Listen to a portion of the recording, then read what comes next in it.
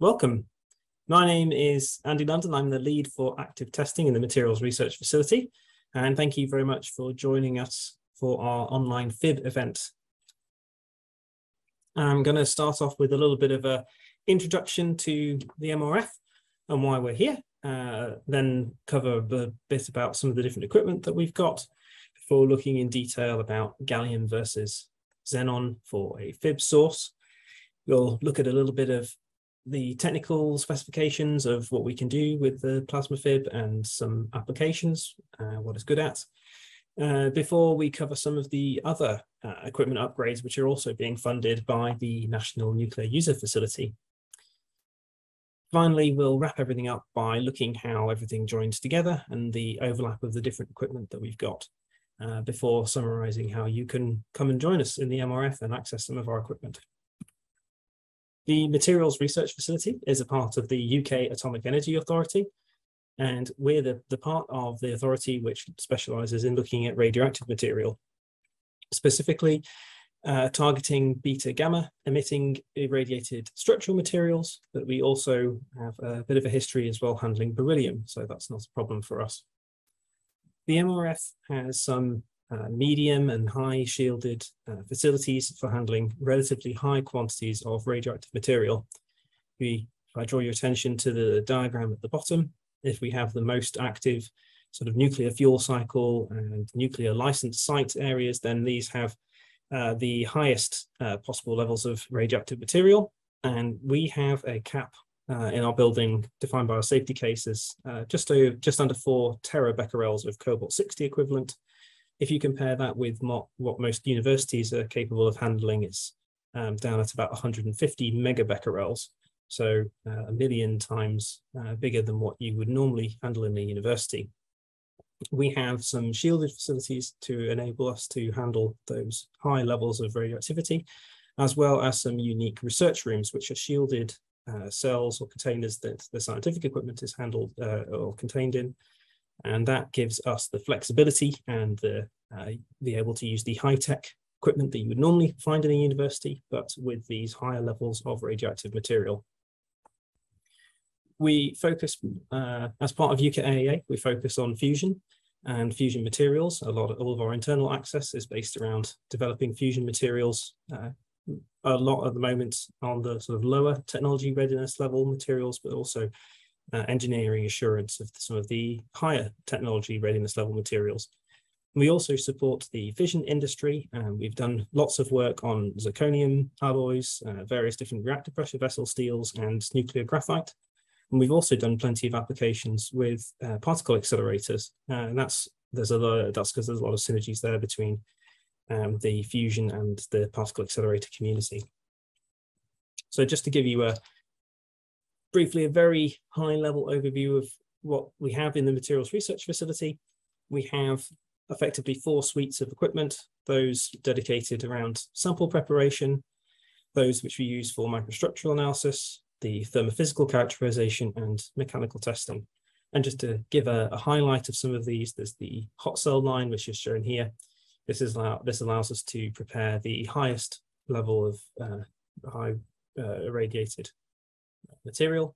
We have some glove boxes for doing low active, uh, low radioactivity samples, um, as well as some a non-active sample preparation lab and some uh, ancillary equipment, which is used for those uh, in those various different environments.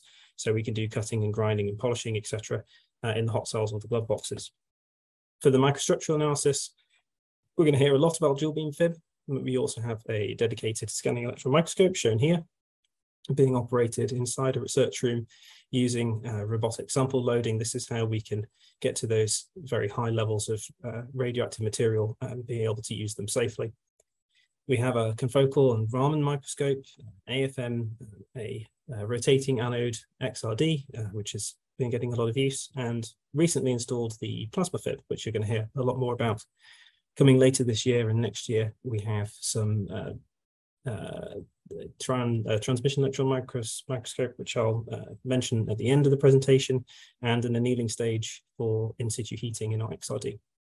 On the thermophysical characterization side of things, we have the physical properties measurement system, which can go all the way up to 14 Tesla and between two and a thousand Kelvin for looking at the thermal and mechanical and uh, sorry, the thermal, electrical and magnetic properties of materials, as well as thermal desorption spectroscopy, uh, laser flash dilatometry, um, simultaneous thermal analysis, gas pycnometry.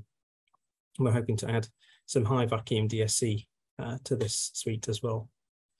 We also have a range of mechanical testing instruments, so nano and instrumented indentation, some small and medium scale load frames up to 15 kilonewtons, um, as well as the ultrasonic fatigue rig, which can do 20 kilohertz uh, fatigue on small scale samples, as well as impulse excitation uh, with a furnace to be able to measure um, the Young's modulus as a function of temperature. And we're We've recently received the small punch dies and we're getting a furnace that will allow us to do small punch testing. Um, and uh, there's the in situ mechanical tester, which is going to let us do uh, small scale mechanical tests. And I'll mention that again at the end. It's got good synergies with the plasma fib. So moving on. Specifically to our new Tescan Amber X plasma fib. Here it is being installed in our, in our research room give you a little bit of a, a peek into the chamber there, showing the various different detectors and things, and a view of the, uh, the control, uh, which has this nice integrated 3D model. It's kind of like a little virtual reality model showing you where everything is, which is very helpful when you're trying to puzzle out the complicated geometries that you have in a dual beam system. So what does that actually mean? Well, the main mainstay is that you have a scanning electron probe and a sample. This allows us to do high resolution imaging and allows us to see things that are very small, which is important for the FIB. Then we have this focused ion beam, which impacts on the sample. The sample's on a stage that can be tilted and rotated and translated, etc. as necessary. The FIB's used for machining, uh, for cutting out or cross-sectioning your material, as well as use in combination with a gas injector system, which injects a precursor gas that allows us to do deposition that allows us to stick things together um, as well as cutting, cutting them apart. And the micro manipulator here that comes in, uh, again, uh, right at the, the center of this chamber, allows us to pick up and move samples around, which is very important for this so-called lift out process, where we can literally lift out a small piece of material from the bulk. The scanning electrons produce X-rays, which we can characterize with an EDS detector in order to look at the chemistry we can look at the backscattered electrons. Um, we're using EBSD, electron backscatter, and this gives a, indication of the crystallographic phase and orientation of the material in the sample. And that's very, uh, very useful for looking at the, uh, the microstructure and finding sites of interest. We can also look at electrons that are emitted through the sample to look at the stem signal. We can either look at scattered or bright field uh, electrons that have come through there. And this is very useful for the samples as they're nearing the, the end of their preparation time in the FIB to be able to determine if they've got the features of interest that we're looking at, um, as well as complementary analysis to other techniques. So this means that the dual beam FIB is a very powerful tool to be able to really target the region that we're interested in. We can do tomography and cross-sectioning. So uh, with repeated slices and then imaging either in combination with some of those analytical tools or just with the scanning electron microscope, that we can actually see into the material and you know, successively uh, cut into it to make different images, pack those images together to make a tomograph, uh, and then analyze that data. We can do micro machining and make small specimens, which could be used for uh, micromechanical tests or use at a synchrotron um, as well as actual materials analysis itself. So as a, an analytical tool in its own right, being able to use these various analytical detectors either in two dimensions or in cross section, uh, or to build up a, a 3D section. So just to give you a, a, little taste of what, what you can do even just with a, a, gallium fib, this is some work that we've done on some neutron irradiated beryllium pebbles. These are for use in a, a future fusion reactor as a, breeding material to generate tritium. We can see the, the combination here of the uh, EBSD, which shows up the various different grains that have formed in this pebble as it's been, it's been made. We can also see the, the holes that have formed in it. So this is the porosity that's been generated during neutron irradiation. We can look in detail here at the chemical segregation using the EDS. So this is the aluminium. signal, which uh, is probably not very clear for you, but there are actually sort of small veins which are formed in this. It has uh, segregated on, on a, on, a, reasonably uh, large scale in this material after it's been irradiated. Um, and we can look at, at, the, the large scale and small scale distribution of these pores which are formed, uh, and we can do, um, hopefully, there we go, we can do uh, this slice and view, uh, successively cutting away the material to cross section and uh, to look at the distribution of the pores in, in three dimensions. And this is just the, the raw the raw data as it was be as it's generated from the fib, cross sectioning through a reasonably small amount of material, a few cubic microns here, um, but clearly showing this distribution of very fine pores that have formed in this beryllium after it's been neutron irradiated. So we can take out small pieces of this material, um, here you can see a couple of the, the lift out sites where material's been removed and a small chunk of this uh, this beryllium has been stuck onto a, a three millimeter grid for handling. Um, and this is now um, very small, only about 15 micrometers across, thinned down so that it can become electron transparent and then characterized with transmission electron microscopy. And here we can see an even smaller distribution of pores uh, which are less than uh, 50 nanometers across, and these have formed in the material as a, as a result kind of the, the neutron irradiation and the gas production that's occurred during that uh, process. We can also uh, sharpen a fine needle of this material, which we can, which is necessary for atom probe tomography, and this allows us to map the different chemical elements uh, in three dimensions. And this has been done uh, again in collaboration with the University of Oxford and I'll mention the, the interaction uh, with them uh, towards the end when we talk about the upgrades to our existing gallium fib. So what makes gallium fib versus plasma fib so different? Well, in a gallium fib, we have a liquid metal ion source. There's a typically a fine hairpin, which is heated and has a coating of gallium on it. Gallium has a relatively low melting point. Um, and so with a, a, moderate amount of heating, the liquid metal can, can sort of wick this structure and come down to the end where with the uh, application of voltage, then ions can be extracted from what, what is nominally a, a very small source, very uh, basically a, a, point source, where there's then a lot of divergence um, of these of these ions that can then be focused by the different ion optics. So this is a, a very small emission surface. Um, it has a, a, limited probe current that can be formed, and the uh, effectively the, the limitations of the ion optics make it difficult to be able to get very uh, high current and useful probes with the, the, gallium source, but on the other end, you can actually form very small, uh, very high current density probes, which are useful for doing very fine uh, work in the gallium fib. And, um, and that's been the mainstay of uh, dual beam uh, or even single beam fibbing um, for the last sort of 30 years. But with the evolution of the fib into the plasma fib, replacing that liquid metal ion source with a plasma source, so high frequency uh, breakdown of a xenon, a rarefied xenon gas to produce a xenon plasma. Once this escapes through a narrow aperture from the, from the ion source, it can be accelerated. Um, and that's what produces your, your ion source in this case. And as you can see at the bottom, the angle of the ions coming out of the source here is quite different. So in the gallium fib, you've got quite a, steep angle and then the plasma fib a very shallow angle. Obviously, because we've got effectively as, as, as many ions here as you want in the plasma uh, side, you can have very high probe currents, uh, but you do need a large demagnification of this source in order to form a, a useful uh, probe for then doing your machining and milling. So if we look at this in terms of the uh, probe size plotted here on the left versus the beam current that you can achieve, with the gallium fib, there's this fairly steep transition that cuts in around uh, 10 nanometers. It depends exactly on what your uh, source is and how your ion optics are configured. But that means above about 10, um, uh, 10 nanoamps, that you it's very difficult to get a uh, small enough probe that you can use for doing uh, milling of, of large areas. If you look instead at the xenon plasma, this has uh, much shallower scaling, and that's because of the much uh, shallower uh, divergence coming out of the, the ion source. And this means that you can get up at these uh, very high currents, you, you get effectively much smaller probe sizes than you would otherwise get with the gallium source. You're also just getting uh, a higher beam current in general. And this uh, plot is from a number of years ago, and with our plasma fib, we're actually exceeding uh, three microamps of, uh, sorry, three, yeah, three microamps, so uh, 3000 nanoamps of current uh, in the probe once it's hit, hitting the sample. So you know, uh, that's that, that combined um, with the additional sputtering that xenon uh, gives because it's heavier compared to gallium means you can remove an awful lot of material.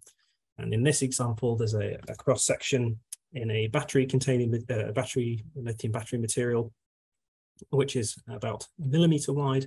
And this was formed in only three and a half hours worth of milling time. And that's the sort of typical time that you would be uh, making a lift out on the gallium fib and you'd only be removing, you know, I don't know, a little little window that would only be about 10 microns across. Um, and so this is a consideration, a considerable acceleration in the amount of material that you can remove. But also notably that we have a fairly fine probe that we can form with the low currents. Uh, it gets a little bit fiddly when you get down to these small probes, but it is possible to form these uh, very small structures like uh, those that are needed for atom probe tomography. Here showing a sample which is a tip diameter of about um, 40 nanometers, which is what you need to be able to do atom probe tomography. Uh, so we're looking to be able to uh, you know, be able to use the, the machine to be as flexible as possible and be able to use both of these, but we understand that it might be necessary to transfer samples from one to the other um, in order to make best use of the equipment. There's another advantage of going from uh, gallium-based ions to uh, xenon. Xenon is a, is a gas and it's a, a noble gas, so it's fairly chemically inert in the material. What's happened here is that uh, these researchers have formed a, uh, they've machined a small sample, uh, basically like a little tensile specimen, uh, which is here only about two microns long in the gauge, two or three microns. Um, and they're going to test this in situ in an electron microscope um, with these grippers, which are shown schematically over the top. And this is in a, uh, in a high entropy alloy. So this is a sort of fusion, fission relevant material. And what they found was with the sample that they made using a xenon uh, fib, they uh, had a nice kind of, uh, you know, the initial elastic response and then the ductile response of the material after yield. Whereas the gallium fib, they didn't get any of that ductile material uh, behavior afterwards. So what they saw was a lot of embrittlement.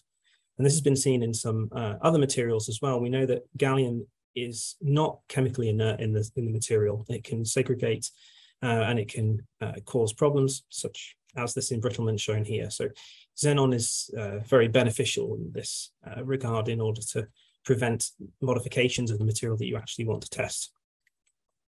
So just looking in detail at some of the, uh, the AMBER X specifications. We have obviously the xenon plasma source with an accelerating voltage of 3 to 30 kilo electron volts with a range of currents from all the way down from one picoamp up to three microamps. It has a fib resolution um, in the best operating conditions down to 12 nanometers at 30 kV, which makes it uh, very useful even for the relatively fine work. There's a FEG SEM uh, to make it a dual beam, and this has landing energies down to 50 EV all the way up to 30 kV, with a range of currents from 2 picoamps to 400 nanoamps. So the lower currents very useful for the high resolution imaging and the high currents obviously uh, necessary for the uh, high speed analytical work that we want to do where you want as much current as possible for acquiring uh, cross sections. And, and here with a very good resolution of just less than a nanometer at 15 keV. We have a variable pressure system in the uh, for use with the SEM for looking at non-conductive materials. We have the Omniprobe 400 uh, micro manipulator from Oxford Instruments, have the uh, Tescan true cross-sectioning uh, methodology using the silicon mask, which I'll mention in more detail in a couple of minutes. There's the um, Oxford Instruments Symmetry S2 and the Ultim Max uh, 170 EDSD, uh, EDS systems. We have in-chamber and in-lens secondary and backscatter detectors, as well as a, a dedicated retractable, retracted, uh, retractable backscatter detector for the, the best um, backscatter response shown in these example images on the right. Uh, that's all tied together by the Essence Tomography uh, advanced 3D package for reconstructing the data in three dimensions. And it's got a, a rather flexible stage with a large range of uh, X, Y, and, and Z travel, as well as minus 60 to 90 degrees tilt. So the silicon cross-sectioning this is a novel method from Tescan where they've placed, uh, they have these pre-cut silicon masks, which you can place over the top of where you want to cross-section. These are placed using the micromanipulator in situ inside, inside the fib. And what this means is you even out the propagation of unevenness from the milling of the top surface to produce a clean and clear cross-section. And the advanced um, or the, the enhanced current from the plasma fib mitigates the fact that you're having to mill this extra material at the top. So uh, in an example here shown of uh, cross-sectioning silicon carbide, this is a very uh, heterogeneous material. It's also very hard. It's quite difficult to fib consistently and get nice cross-sections. Here you can see without the masking, there's a lot of roughness on the surface, making this cross-section practically unusable. But with the silicon mask, we can get a very clear uh, and, and useful cross-section that could then be used for, uh, for analysis. So this is a very good solution for milling uh, carbon and graphite materials, as well as heterogeneous materials that we often want to use in practice. This can be used in combination with a rocking stage. So in side view, the fib is coming in here and cutting a cross section, and you're looking at this with the SEM, and it's this uh, window of material here that we're looking at in the SEM section. The stage then has an additional axis mounted on it that allows this section to rock backwards and forwards, as shown in the little animation. And this means that the fib is always hitting at a slightly different angle, but allowing you to still image the SEM um, without having to move the whole sample into a different orientation. And this helps to eliminate the curtaining artifacts that can occur from the um, single direction of the, of the fib milling and produce clean and clear cross sections So just give a, a, couple of examples of where the plasma fib can be used in different applications. This is a welded uh, low activation steel um, that's okay, sorry. Um, and the, there's the different zones in the in the weld here, the heat affected zone and the fusion zone in the middle.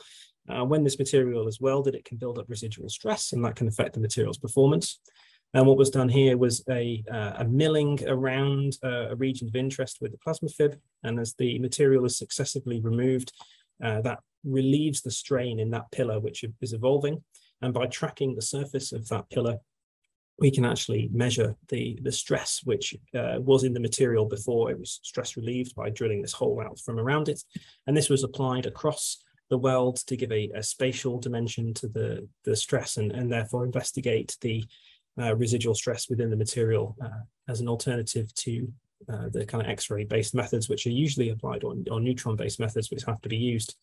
We then also did uh, nano indentation to look at the mechanical property changes um, as well as indenting on these pillars themselves. So they're big enough that you can actually put an indent, a nano indent in the middle of them and investigate the stress-free properties and compare that with the, the behavior under compression and tension, depending on where you are in the material. So I hope this video works, but this is a again an example of a battery material uh, in cross section um, where it's been again successively milled um, in order to reveal multiple slices going through the the depth kind of into the into the screen here and then reconstructed.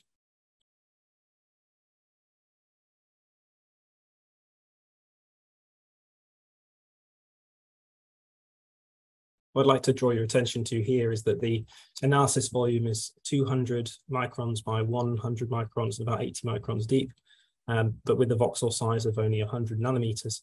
And this is enough to reveal the, the resolution of the, the cracks in this uh, in these oxide particles at the cathode. Um, you can see the undulations in the electrode material in the middle, uh, and we can resolve the, the dark carbon-based anode. Um, and I believe that this data was acquired using a combination of the silicon masking as well as the, the rocking stage to give the, um, the best and uh, clearest cross sections. And again, this is just using the electron imaging. So this is without any, um, let's see if I can play that again. This is without using any of the analytical capability of the microscope. So multiple cross sections, at each cross section, taking an image with the SEM and then stacking those together and reconstructing it.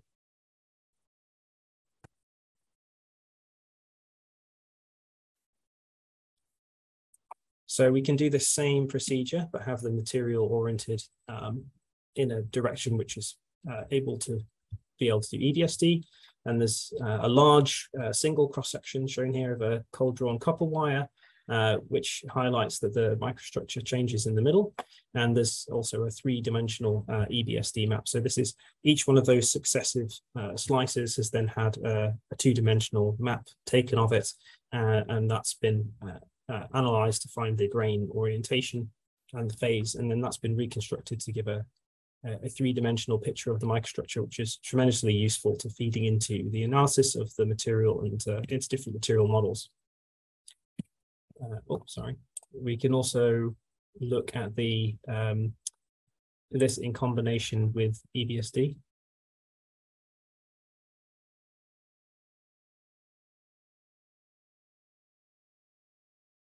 Uh, so on the on the left, this is hopefully going to show the combination of EBSD and EDX. Uh, and the EDX volume is shown here on the right. So you can you can already see the different uh, elements highlighted here in this high alloy steel. Um, but this can be combined with EBSD at the same time uh, and reconstructed together to give a, a sort of multi-dimensional data set and reveal, um, for example, that these uh, particles, the different, these different particles are actually forming along different grains within the material. Seems like I'm not going to get those videos to work. Apologies have to take my word for it. Um, so then just moving on to our gallium fib, our old and venerable uh, Helios from Thermo Fisher. This is getting a little bit of uh, attention as well. We're fitting an, an, e, an EBSD detector to this. So there's a, an EBSD map shown at the top. And this will allow site-specific preparation to pick out particular grain boundaries or specific grain orientations. Uh, it will allow uh, transmission Kikuchi diffraction during the milling for, uh, again, for the, that site-specific preparation. We're going to combine this with a cryo stage to be able to reduce the heat production during milling and prevent the phase transformations during the sample preparation. This is uh, very important uh, in materials like zirconium and titanium. And we've got an example of that coming up next. Uh, we're also fitting a vacuum transfer system um, to give much reduced surface oxidation during the transfer. And we're currently uh, and the only piece of equipment really we know about is the, the atom probe in Oxford, who are willing to take radioactive samples from our FIB. Um, but there's other atom probes like the, the one in Imperial, which can also take uh, the same vacuum transfer system. Um, and we'd like to be able to transfer to, to other pieces of equipment. So, so do get in touch. That uses this um, KF40 flange.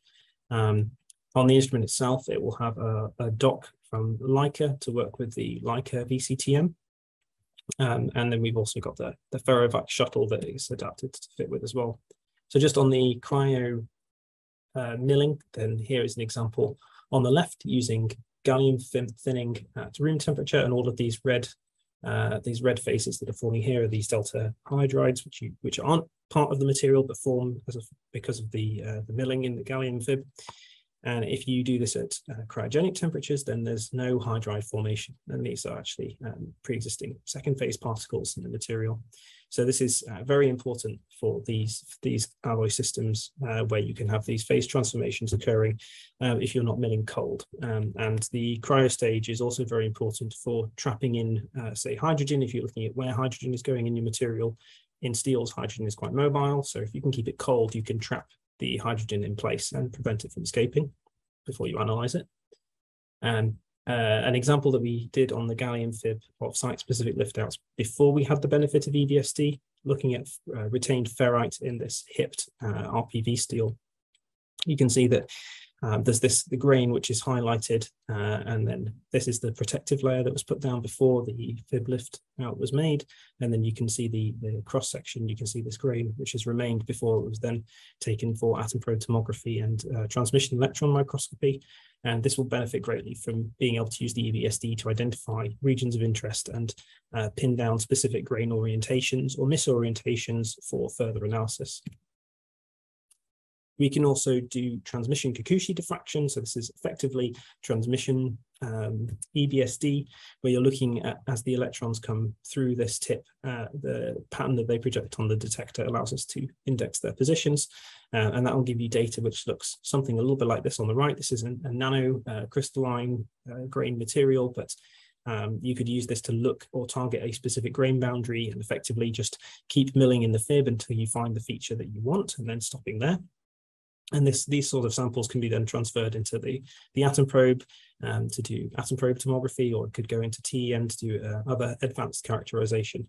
Uh, and so that's something we think will be particularly useful. So just a, a brief word about the vacuum transfer.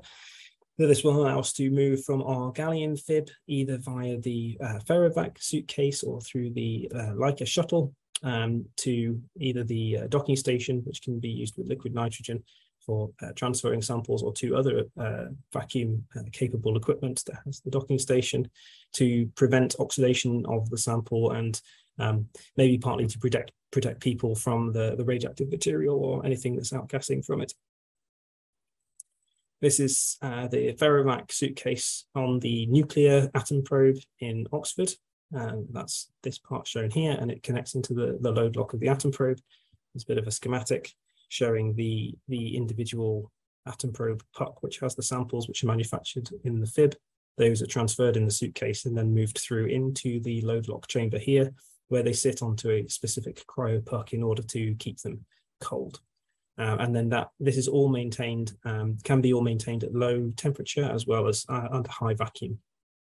So just to kind of bring everything together, we've got these various different pieces of equipment. Um, the ones with the dotted outlines are the ones that are new as part of the National Nuclear Users Facility.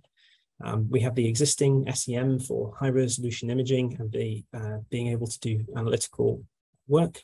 We have the new FIB, the plasma FIB for doing high throughput work as well as the analytical capability. We have the existing gallium fib, which allows us to do this precision milling. We're adding the EBSD for doing site-specific lift outs, and we've got the cryo stage and uh, cryo transfer.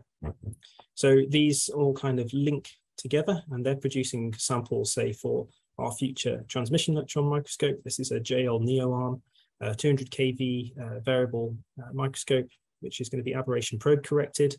Uh, and that also has uh, some analytical capability for doing atomic resolution STEM, and um, it's got a high angle, uh, high solid, high solid angle ED, uh, EDS detector for doing uh, chemical mapping in the TEM.